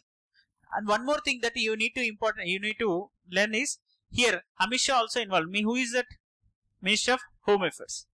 Okay, but you can you get confused that how will he come into picture here when Sahakar se Samruddhi Yojana is coming? Because there is a need requirement here. What is that requirement? Because Minister of Amit Shah with Minister of uh, Chemicals and Fertilizers and also it is a interministerial one. What are the five important decisions here? Sahakar se Samruddhi Yojana. The first one is primary agriculture credit societies which are not functioning as fertilizer retailers. Fertilizer retailers. Retailers to whom? Farmers. They are not, these primary agriculture credit societies are looking into the mobilization of financial resources rather than material resources which are evidently required for the farmers, which are essential for the farmers. Therefore, you need to empower PSCs to be facilitators for farming sector, especially these fertilizer retailers. They should also act as fertilizer re re retailers. And they will be encouraged to function as retailers on the basis of feasibility in a phased manner. Next, PSCs, therefore, farmers may get one-stop solution at PSCs. Mobilization of resources in all formats. Mobilization of resource in the form of monetary resource through PSCs in the form of material resources like fertilizers. Okay. Next, PSCs which are not currently functioning as Pradhan Mantri Kisan Samruddhi Kendras will come under this program. Pradhan Mantri PSC presently not coming under Pradhan Mantri Kisan Samruddhi Yojana. Now, under this program, Sahakar se Samruddhi program, what will they do? They will train the PSCs to bring this Kisan Samruddhi Kendras. Okay, to run these Kisan Samruddhi Kendras under Sahakar se Samruddhi scheme. And PSCs will be connected with marketing of organic fertilizers. Okay, especially fermented organic ones. Next, under market development scheme, assistance. So what is this? PSC should act as one-stop solution as I said. Farmers require financial resources one side. Okay, PSCs are acting on those areas only till now. Therefore, the Sahakar se Samruddhi Yojana if comes into picture, what will happen? PSCs will also facilitate them chemical fertilizers, organic fertilizer, fermented fertilizers, and they will integrate various schemes like liquid fermented organic mammalian phosphate, various schemes like uh, related to organic farming. And next third aspect is marketing, market development assistance. Okay, PSCs, market development assistance scheme of Department of Fertilizers and the companies will act as an aggregator for the small bio organic producers to market their end product. So, uh, next PSCs can also be employed as drone entrepreneurs. PSCs, drone entrepreneurs means agriculture. So, drone drones are very helpful for fertilizer distribution, right, in the farm field. So, spraying fertilizers and pesticides, these drones. So, drones can also be used for survey of property as well, agricultural property. So, PSCs will act as one-stop solution under the Sahakar se Samruddhi Yojana. Therefore, the Ministry of Home Affairs and Ministry of Agriculture Farm and Ministry of Chemical Fertilizer something, everybody integrated together and working for this cooperative sector, primary agriculture societies. Ultimately, Sahakar se Samruddhi Yojana is a collaborative effort of various ministries and the nodal agency is Ministry of Corporate, Ministry of Cooperative Societies. Ministry of Corporate Societies. Benefits of these decisions, as you know that this is subjective, you can write many benefits. Ministry of Corporations, futuristic is bringing Sahakar Se Samruddhi Yojana. Shakti for Women, free bus travel scheme rolled out in Karnataka. Okay, what is the benefit of it? Just I would like to reiterate that because uh, female workforce participation is very less compared to other countries in uh, compared to other parts of the world in India. Therefore, to increase this female workforce, what did what, what uh, this scheme would be helpful? That is the actual argument put forth. So it is up to you how to argue against it or in favor of it. Okay, you can read many articles as well uh, to objectively justify your valid point. Next, Operation Amanath. What is this Operation Amanath? Just this is also one of the important that I have said you uh, earlier regarding railways. Commission on Railway Safety already we have discussed. And next, Shield that is Kavach or armor system that we have discussed because the recent incidents which has taken place therefore it is very important prominent which should enter nation that incident next important one is railway protection force okay which was established under railway protection force act in 1957 uh, it had mandated the work to the railway protection force what does it do this function this present initiation will tell you what is the function of railway protection force. Railway protection force actually, you, if you uh, if you have lost your luggage, what will you do? You can go to the portal, you can give complaint to the railway protection force in the portal itself. Railway protection force will register that complaint, will definitely update you how you have lost your baggage. Okay, and they will ask you the details related to baggage and they will see uh, follow uh, they will do certain level of follow up okay? The likewise railway protection force has implemented this operation. Amanath they have recovered the lost luggage and baggage of various passengers okay especially during disasters and uh, problems something happened so mission Amanath initiative by railway protection force to track the lost luggage they successfully implemented they have get they got back various baggages of the passengers which were registered in their portal itself that is indianrailway.gov.in. Railway Protection Force has been working. Uh, it was mandated by which act? Railway Protection Force Act 1957. So till now we have completed regarding Railways Commission for Railway Safety and uh, um, is automatic uh, say uh, collision avoidance scheme that is shield operation uh, Kavach armor and next this one Railway Protection Force. Next, first national conference on tribal writers held in J&K. Already it is exhausted it seems.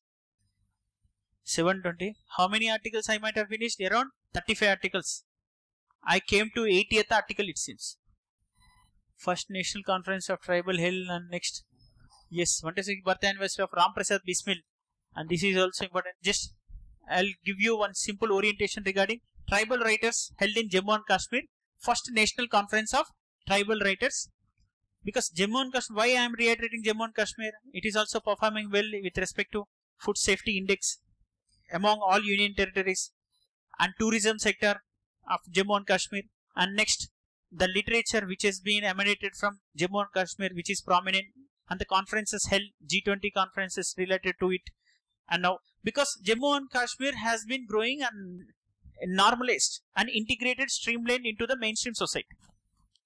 Okay after abrogation of 370 and the number of security perspective of also number of stole also reduced and the revenue generation from tourism also increased and the employment sector increased and reservation to the marginal sections were also introduced in Jammu and Kashmir and CRPC, CPC were also introduced and like run penal code was removed in Jammu and Kashmir.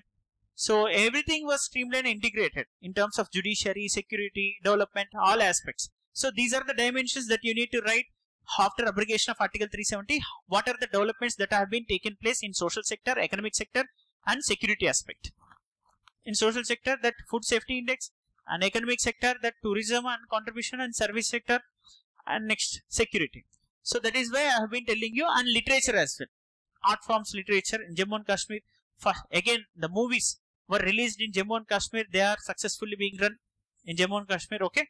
art form. These are the dimensions that you need to write for your mains examination. For that purpose, I have given you as value addition and substantiation for your points. Next, Ram Prasad Bismil, Hindustan Social uh, Republican Army was the organization, okay, which was founded in 1924 and it its, constitution was drafted by whom? Ram Prasad Bismil only. He was part of Mainpur conspiracy of 1918. Mainpur conspiracy of 1918. What did he do during that time? Young people, uh, Bismil selling books that were not prescribed by government. Okay. And what were, what, and also he published pamphlet titled Deshwasiyo ke Naam. And means distributed along with his poem Man, Mainpur ki Pratigna. What is that Mainpur ki Pratigna? To loot government coffers. Okay, this conspiracy, and he also involved in uh, conspiracies along with Chandrasekhar Azad and Ashfaqulla Khan. Decided to loot a train in Kakori near Lucknow. Kakori near Lucknow. He was hanged on 19th December 1927 at Gorakhpur jail. Death. So why have I chosen? Because 126th birth anniversary of Ram Prasad Bismil, which has come into news, and the nation recently celebrated this 126th uh, birth anniversary of him. He born in 19, 1897 in Uttar Pradesh, Shahjahanpur district, and he joined Arya Samaj, which was founded by Dayanand Saraswati in 1875. Okay, so this is about Ram Prasad Bismil. I think you remembered everything about him, and these are the articles that again Kanya Siksha Pravesh Utsav. This is also important because of amalgamation of various schemes under this.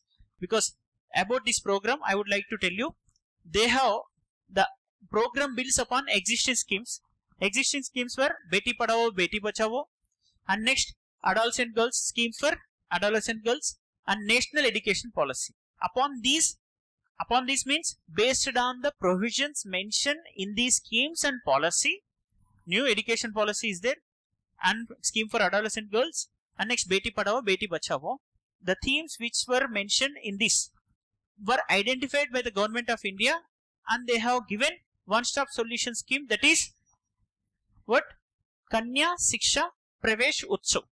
Kanya Siksha Pravesh Utsav. Upon these three areas and it has actually recognizing shared nutritional targets. Shared nutritional targets of Ministry of Women and Child Development combining three programs. What are those three programs? Anganwadi centers, what is integrated child development scheme under this. Next scheme for adolescent girls. Next Poshan Abhiyan. Poshan Abhiyan scheme for adolescent girls and Anganwadis. These were working under Ministry of Women and Child Development. They had certain nutritional targets.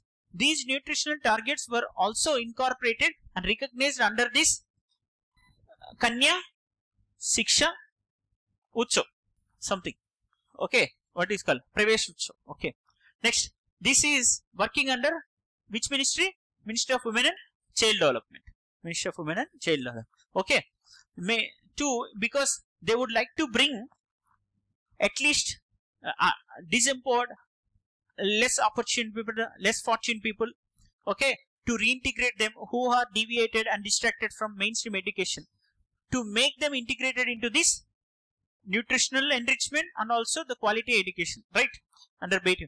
This reintegration of 1 lakh girls into this mainstream education system was taken place that is Kanyasri Siksha Praveshan Utsav. Okay. Kanya Siksha Pravesh Utsav. Siksha means education. Pravesh means to reintegrate them. Okay. This is program stands as a significant step towards promoting gender equality and empowering young girls through education. About Ministry of Women and Child Development, it is not required. It is very easy to know. So the scheme is uh, actually focusing on nutritional targets which are actually determined by various other schemes. Okay, what is the nutritional target uh, schemes related to them? Anganwadi and next I, under ICDS and next Poshan Abhiyan and next this one adult scheme for adolescent girls. Okay, general consent to CBI, Tamil Nadu government. Again, after West Bengal, it is Tamil Nadu. Tamil Nadu rejected CBI's entry into the state. General consent is mandatory to enter into CBI in any state. General consent of whom? the respective state government. Okay. Uh, without the consent of the state government, CBI should never interfere except certain conditions. If it is directed by the court, High Court or Supreme Court, therefore CBI will enter into it.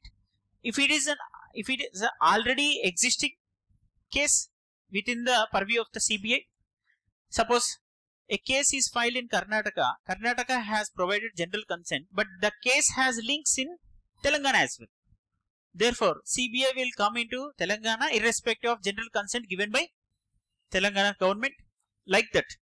So, Tamil Nadu withdraws general consent means it doesn't want CBI to enter into because they don't want cases against them. okay. So simple. So Tamil Nadu announced that it has withdrawn the general consent given to the Central Bureau of Innovation. Uh, what is this uh, CBI? CBI is not a statutory body.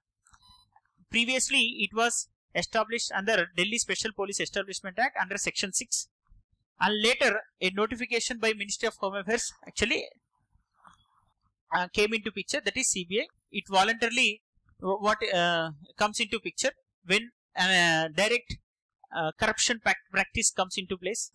Okay. Supreme Court has also provided certain exceptions, guidelines, CBI to enter into state. Okay. Uh, the Supreme Court, High Court can order CBI to investigate a crime anywhere in the country without consent of the state. So, through Supreme Court you can enter.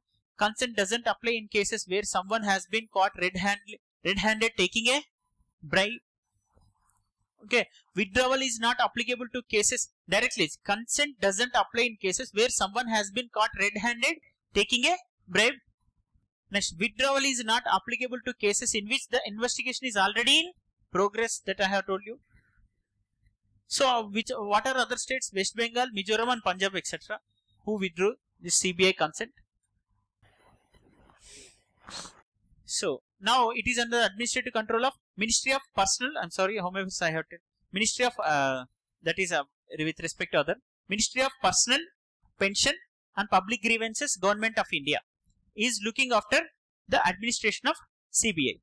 And CBI was uh, after Santhanam, uh, Ministry of Home Affairs, a resolution passed by Ministry of Home Affairs in six, 1963 after a committee, Santhanam committee reported.